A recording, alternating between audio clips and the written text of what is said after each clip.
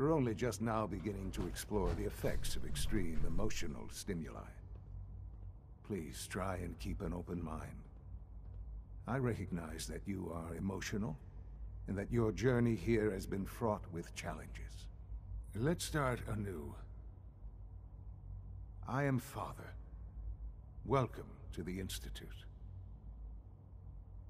Give me Shaun, The real Shaun, Right now! I know. I know. You've gone to such lengths to find him. I'll make this very simple. Where is my son? He's here, in the Institute. Closer than you think. But I need you to realize that this situation is far more complicated than you could have imagined. You have traveled very far, and suffered a great deal to find your son. Well, your tenacity and dedication have been rewarded. It's good to finally meet you, after all this time. It's me. I am Shaun. I am your son. How is that even possible? I know this is a lot to take in. In the vault, you had no concept of the passage of time. You were released from your pod and went searching for the son you'd lost. But then you learned that your son was no longer an infant, but a ten-year-old boy. You believed that ten years had passed. Is it really so hard to accept that it was not ten, but sixty years? That is the reality, and here I am. Raised by the Institute, and now its leader. But why? Why take a child? Why take you? Ah, now that's the question, isn't it? Why me?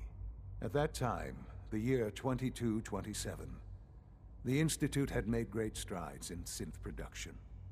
But it was never enough. Scientific curiosity and the goal of perfection drove them ever onward. What they wanted was the perfect machine. So they followed the best example thus far. The human being.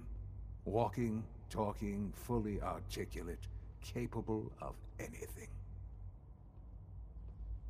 Human synths? Really?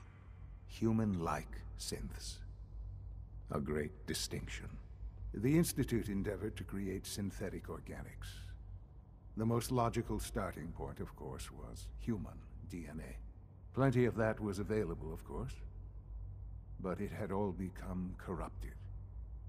In this wasteland, radiation affected everyone. Even in their attempts to shield themselves from the world above, members of the Institute had been exposed. Another source was necessary. But then the Institute found me, after discovering records from Vault 111. An infant, frozen in time, protected from the radiation-induced mutations that had crept into every other human cell in the Commonwealth. I was exactly what they needed. And so it was my DNA that became the basis of the synthetic organics used to create every human-like synth you see today. I am their father. Through science, we are family. The synths, me, and you. And you... you've been down here the whole time? I have. Yes. I know you must have questions. Please. Anything I can do to help you understand. Kellogg. Another, uh, He worked for another you? good one. Kellogg. Another good one. Phil. He was an Institute asset long before I arrived here. It wasn't until I became director that I learned of all the things he'd done. What kind of man he was. So, uh, there are some rumors out there in the Commonwealth. You knew the man was a psychopath, You know but you used him anyway? A, a Would you have preferred that I turned him loose on the Commonwealth? want to escape the Institute? At least keeping him on a short leash Well, kept the uh, collateral damage to a Maybe minimum. not just a rumor. The Institute took advantage of Kellogg's vicious nature. I will freely admit that.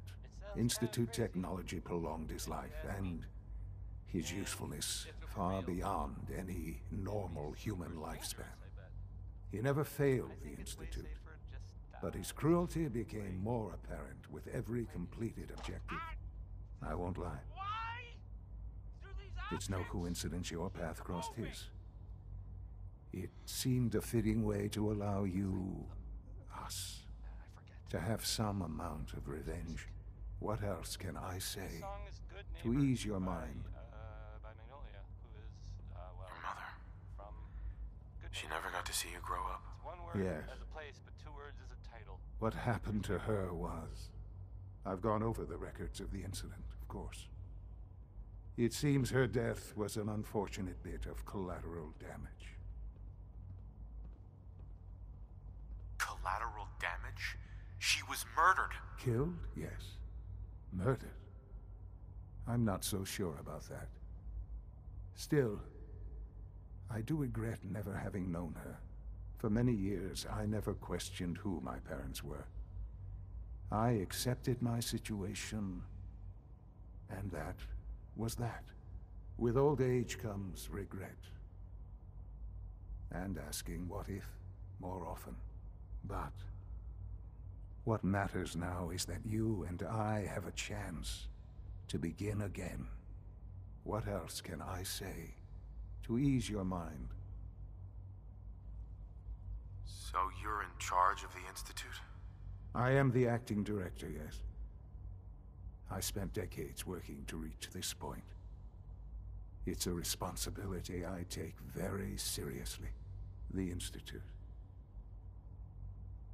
It's important.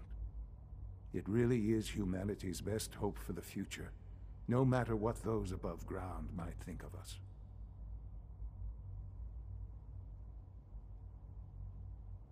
But, director? Why you? I was the most qualified for the position. Obviously. I've lived my life within these walls. Dedicated to science like every other member of the Institute. My hard work has paid off.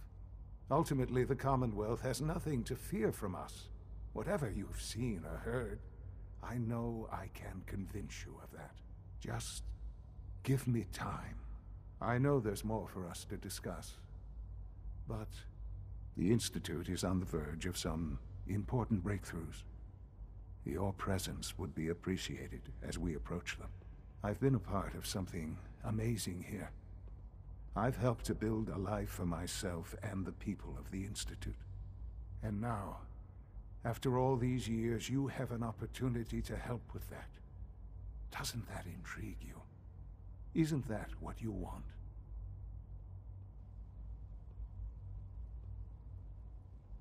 Yes, that's what I want. I know. I know you've been through so much. I'm pleased to see it has not impaired your judgment. Forgive me. I'd assume that after everything I'm sure you've seen above ground, you would be more than a bit biased against us.